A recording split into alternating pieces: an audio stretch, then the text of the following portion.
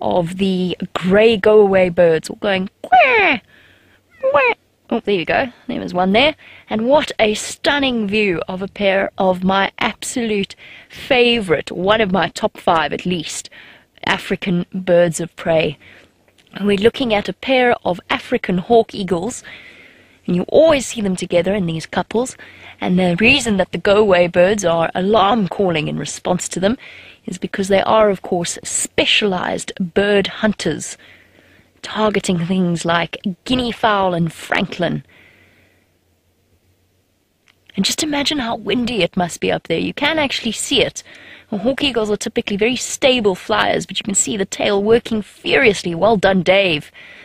Working furiously to help to maintain that level. Oh, wow.